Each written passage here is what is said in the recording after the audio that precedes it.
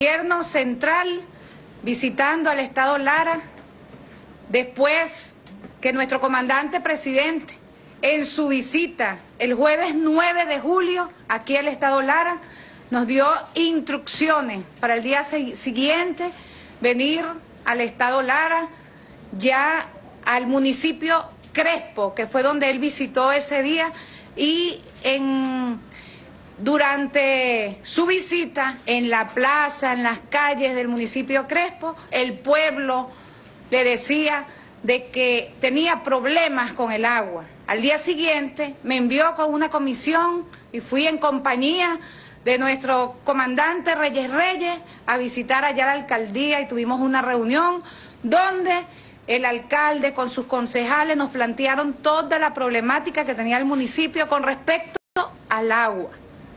Entonces estamos aquí nuevamente, ya acompañados de varios ministros de nuestro gobierno central, como el ministro Jaiman Eltrudi, el ministro Manuel Fernández, el ministro eh, Barreto y nuestro comandante Reyes Reyes, que es el anfitrión de nosotros, que vamos a pasar el día, el gobierno central, aquí en el Estado Lara.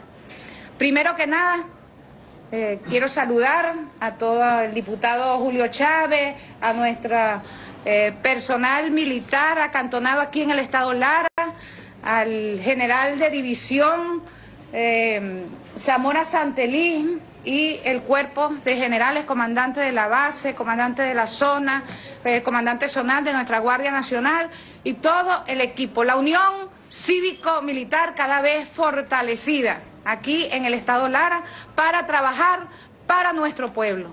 Primeramente, quiero darles buenas noticias al Estado Lara y muy especial al municipio Crespo. Nuestro comandante en jefe, presidente Nicolás Maduro Moro, aprobó los recursos de todos los proyectos, de todos los proyectos que nos presentaron el día 10, el viernes 10, aprobó todos los recursos tanto en bolívares como en dólares para resolver el problema del municipio Crespo. Nos aprobó 524 millones para todos los proyectos que presentaron, donde el Ministerio de Ecosocialismo y Agua se va a encargar de resolver todos los problemas de agua. Así como el municipio Crespo, vamos a ir avanzando en cada uno de los municipios con la problemática del agua aquí en el estado Lara. Vino el presidente a resolver los problemas de que es del gobierno regional. No importa, nosotros trabajamos para el pueblo y nuestro comandante presidente nos dio la instrucción de venir a resolver el problema del pueblo. Aquí estamos apoyando a nuestro comandante Luis Reyes Reyes con Corpolara que se va a lanzar a la calle a resolver los problemas que el gobierno regional no puede resolver. Así que aquí estamos todos, varios ministros, a fortalecer al Estado Lara, cumpliendo las instrucciones directamente del presidente Nicolás Maduro Moro. Aquí estamos, a gobernar con el pueblo. El pueblo tiene sus necesidades y nosotros vamos unidos, fortaleciendo a Corpolara para resolverle los problemas al pueblo. Así que además de estos recursos de 524 millones de bolívares para el problema de agua en el municipio Crespo también aprobó 278 mil dólares para comprar un equipamiento para resolver ese problema en el menor tiempo posible. Vamos a ir progresivamente de menor a mayor, ¿verdad? Para que en pocos días ya muchas comunidades que ese día salió a la calle porque tenía sed, por el problema del agua que no se ha podido resolver aquí a nivel regional, del gobierno regional. Bueno, vino el presidente, nos envió a nosotros y aquí estamos. Apoyar al comandante Reyes Reyes a través de Corpolara para diferentes proyectos que el comandante Reyes Reyes le va a explicar a cada uno de ustedes.